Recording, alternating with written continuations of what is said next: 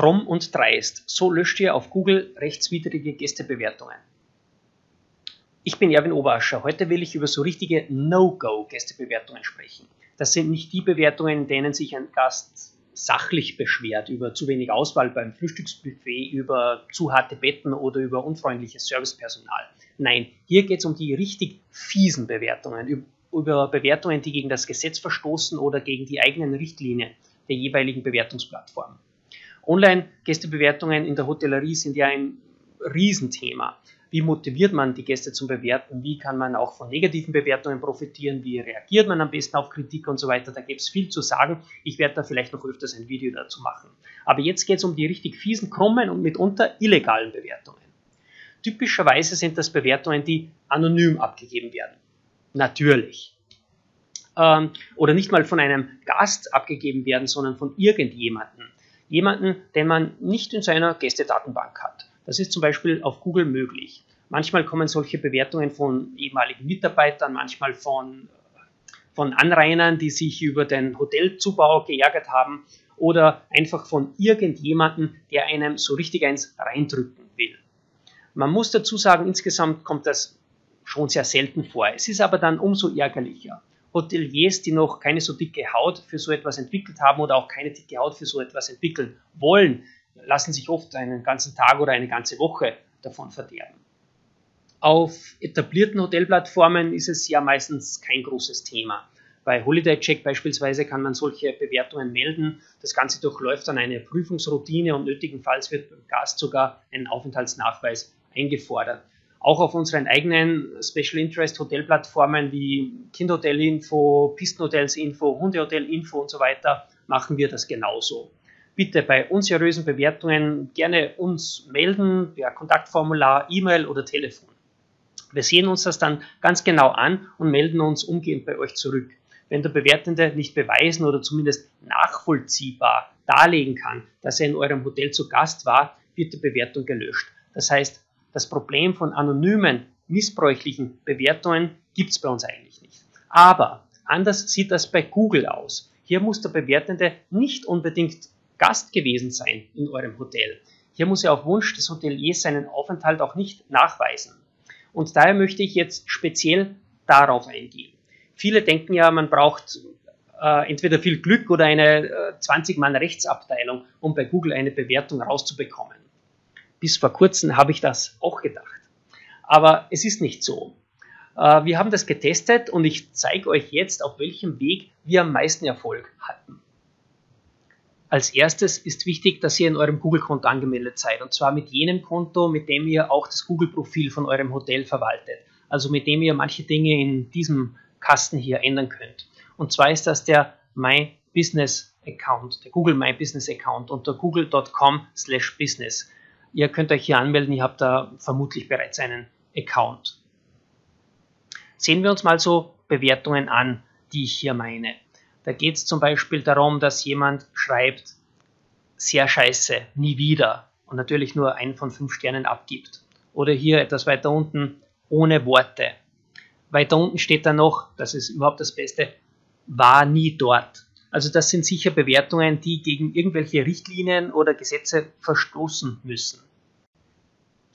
Ihr könnt jetzt so eine Bewertung ziemlich einfach melden, indem ihr da auf diese drei Punkte klickt, Rezension melden und dann entscheidet, in welchen Bereich es hineinfällt. Also wenn es zum Beispiel, so wie vorher, alles scheiße, ja, da könnte man sagen, das ist anstößig, klicke ich hier an und wenn ich das jetzt hier mit Melden bestätige, dann wird diese Missbrauchsmeldung bereits abgeschickt. Meist ist es jedoch nicht so einfach, dass die Bewertung hier in diese obersten Punkte reinfällt, sondern ihr habt vielleicht irgendein rechtliches Problem, weil äh, eurer Meinung nach dass die Bewertung gegen ein Gesetz verstößt oder gegen die Richtlinien von Google. Dann müsst ihr hier rechtliches Problem anklicken und dann kommt man zu einem Formular, das am Anfang sehr umfassend aussieht, aber lasst euch von dem nicht abschrecken. Ihr müsst auch hier wieder anklicken, es gibt ein rechtliches Problem und dann könnt ihr diese Anfrage erstellen. Wirklich bis hierher irrsinnig einfach. Ihr füllt hier aus euren Namen, den Namen des Unternehmens, eure E-Mail-Adresse und gebt hier nochmal ein die genaue URL von dieser Bewertung. Das wird oben genau beschrieben, wie ihr das macht und auch unten noch einmal die URL reinkopieren, äh, auf die ihr euch bezieht. Das wird wirklich hier ganz genau beschrieben und ist sehr einfach. Aber diese zwei Blöcke, das ist jetzt eigentlich das Herz des Ganzen. Google fordert zwei Dinge von euch. Erstens, ihr müsst genau anführen, welche Passage ihr für richtlinienwidrig oder für gesetzeswidrig hält. Also wenn ich jetzt sage, okay, das ohne Worte, das ist jetzt für mich eine unerlaubte Schmähkritik oder was auch immer, dazu komme ich gleich, dann kopiert ihr das hier rein, ich setze es unter Anführungszeichen, man weiß, das ist ein Zitat, und das ist, ist jetzt genau diese, diese Passage, gegen die ich mich wehre. Und oben fordert Google, dass ihr genau anführt, gegen welche Richtlinie von Google eurer Meinung nach diese Passage verstößt oder gegen welches Gesetz es verstößt. Und das ist natürlich ein bisschen eine Herausforderung. Schauen wir uns an äh, die Google-Richtlinien. Das ist noch ziemlich einfach. Ihr findet diese auf dieser Seite hier und da gibt es vor allem für Hotels, würde ich mal sagen, sind die interessanteren Bereiche zum Beispiel nicht themenbezogene Inhalte, wo drin steht, dass eine Bewertung auf den eigenen Erfahrungen des Users basieren muss. Das heißt, wenn man den äh, Verdacht hat, dass das gar kein Gast war, dann könnte man hier einhaken. Äh, interessant auch oder ziemlich klar eigentlich auch anstößige Inhalte. Ja, also wenn es obszöne oder eine vulgäre Wortwahl ist, dann kann man das hier anführen. Interessant auch Identitätsdiebstahl. Hier steht nämlich drinnen, veröffentlichen Sie keine Inhalte im Namen anderer Personen. Das heißt, wenn ich von der Wortwahl her als Gast ein Hotel bewerte, das allerdings mit einem anderen Namen mache, sodass ich mich der Hotelier nicht erkennen kann, dann müsste das auch gegen diese Richtlinie verstößen, meiner Meinung nach. Interessant auch die Interessenskonflikte. Hier steht drin, Negative Inhalte über eine aktuelle oder frühere Berufserfahrung posten ist nicht erlaubt. Heißt meiner Meinung nach, ehemalige Mitarbeiter dürften eigentlich keine Google-Bewertung abgeben. Also, wenn ich jetzt hier etwas finde, was Richtlinien, einen Richtlinienverstoß darstellt, dann kopiere ich diesen Richtlinienverstoß genau hier rein, sagt dazu, ähm, verstößt gegen Google-Richtlinie und zitiere diese Google-Richtlinie hier nochmal. Dann habe ich beides erfüllt. Ich habe gesagt, was genau stört mich und warum ist es nicht erlaubt. Sofern das eine Google-Richtlinie ist, ist es ja noch ziemlich einfach. Was ist jedoch, wenn ich keine Google-Richtlinie finde, gegen die diese Bewertung verstoßen könnte? Dann bleibt mir nur noch das Gesetz. Das heißt, ich muss überlegen, verstößt diese, diese Bewertung gegen irgendein Gesetz. Nun, es ist ja im Sinne der Meinungsfreiheit sehr vieles erlaubt, allerdings keine Schmähkritik. Und diese Abgrenzung, was ist noch Meinungsfreiheit und was ist be bereits eine Beleidigung, eine Verleumdung oder eine unerlaubte Schmähkritik, das ist ja heiß umstritten. Seit der Böhmermann-Affäre ist das ja aber auch ziemlich viel und detailliert ausprozessiert worden. Klar ist jedenfalls, es ist ziemlich viel erlaubt, muss man sagen.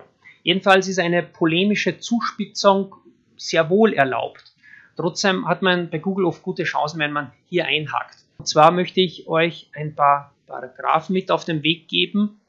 Also wenn es um, wenn ihr findet, das beleidigt euch, das ist eine Schmähkritik oder eine üble Nachrede, dann solltet ihr hier in diesem Google-Formular zum Beispiel folgende Paragraphen erwähnen. Das ist Paragraph 115 im österreichischen Strafgesetzbuch.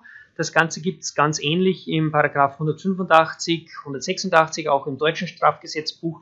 Auch in der Schweiz und für unsere Kollegen in Südtirol, in Italien gibt es ganz ähnliche Passagen.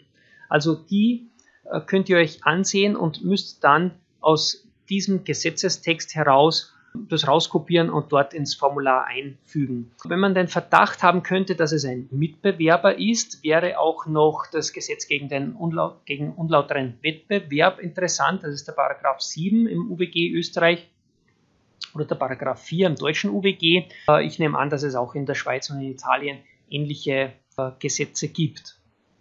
Also wenn ich hier zum Beispiel nach dem Paragraph 115 österreichisches Strafgesetzbuch google, dann finde ich die Quelle sehr schnell und habe hier zum Beispiel unter Useline diesen Gesetzestext parat. wer öffentlich oder von mehreren Leuten einen anderen beschimpft, verspottet und so weiter. Und da denke ich mir, okay, das passt jetzt ganz gut. Und diese Passage nehme ich und kopiere ich hier rein. Also anstatt der Richtlinie nehme ich hier diesen Gesetzestext und verweise auf den Paragraphen 115 österreichisches Strafgesetzbuch und somit ist auch hier zumindest formal mal alles erfüllt für Google. Ich habe hier zitiert, wogegen ich mich wehre und habe hier zitiert, warum es meiner Meinung nach gesetzlich verboten ist, dass diese Bewertung online ist. Ich unterschreibe das Ganze dann und schicke es ab. Also es kommt selten vor, aber dieses Formular sieht sich unserer Erfahrung nach tatsächlich ein echter Mensch bei Google an. Daher macht es diesem Google-Mitarbeiter so einfach wie möglich, damit er seine Entscheidung rasch und klar treffen kann und erfüllt auf jeden Fall diese Formkriterien hier. Ich möchte noch dazu sagen, ich bin mir ich bin mir nicht sicher, ob eine Bewertung, alles sehr scheiße, oder eine Bewertung ohne Worte in Verbindung mit einem Stern gegen diese Paragraphen oder gegen diese Richtlinien verstößt. Ich behaupte aber, es ist zumindest argumentierbar. Und ich behaupte auch, ihr habt gute Chancen, die Bewertung rauszubekommen, wenn ihr so vorgeht. Ihr bekommt danach noch eine Authentifizierungs-E-Mail, die ihr mit einem Klick bestätigen müsst und damit ist die Sache eigentlich erledigt. Es dauert natürlich ein paar Tage, bis ihr irgendeine Rückmeldung erhält. Wir haben es bei mehreren Bewertungen probiert und es hat geklappt. Google hat hier tatsächlich einen Beschwerdeservice, das funktioniert und das vielleicht besser ist als sein Ruf. Ich bin Erwin Oberascher, bin selbst Beherberger und betreibe in der Thematiker GmbH verschiedene Hotelplattformen wie zum Beispiel Kinderhotel-Info oder Wellness-Hotel-Info bitte, wenn ihr irgendwelche Fragen, Anmerkungen oder Tipps zu dem ganzen Thema habt, bitte unten kommentieren. Ich werde auf jeden Kommentar eingehen. Vielen Dank und Servus.